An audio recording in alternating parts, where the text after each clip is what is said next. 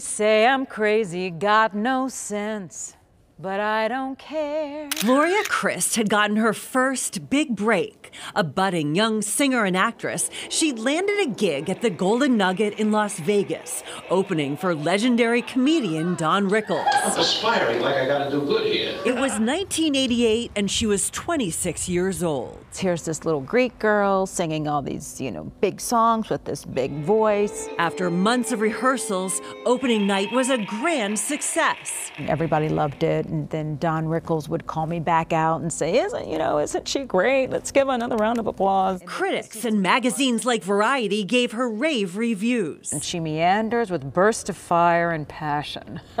After her third performance at about 10:30 at night, there was a knock on her hotel room door. It was the owner of the Golden Nugget, casino mogul Steve Wynn. But at the Nugget, we have a lobby. The first thing is he had on this white terry cloth robe, and I was like, well, that's kind of weird. After some small talk, she says Wynn got right to the point.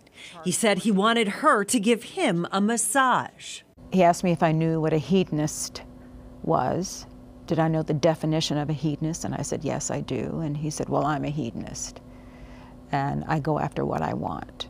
And this is what I want you to do. And I was like, mm-mm. Nope.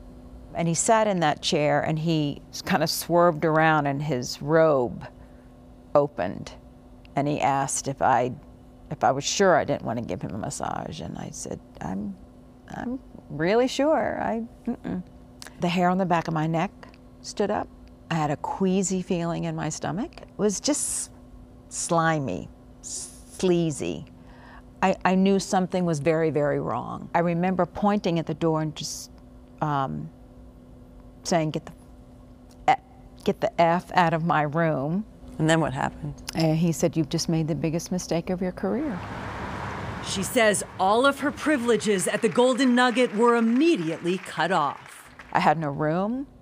I had no way to get home. It was like the wrath came down and I went from being this really talented Spitfire to a nobody.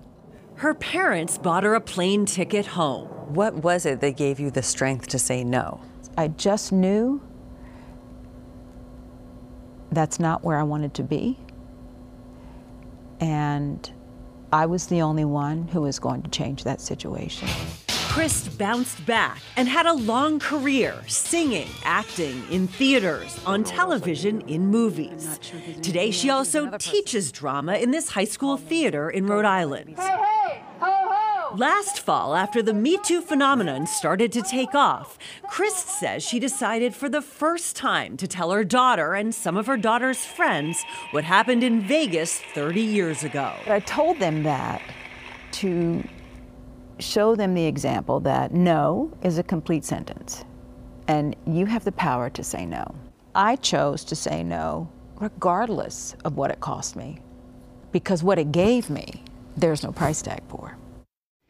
Now, Wynn's attorney didn't answer our request for a comment. Some former employees have filed lawsuits alleging Wynn coerced them into sexual acts. He denied the allegations. Now, Gloria says she won't file a lawsuit and doesn't want any money. She just wants her story to empower other women. Karen Anderson, 5 Investigates.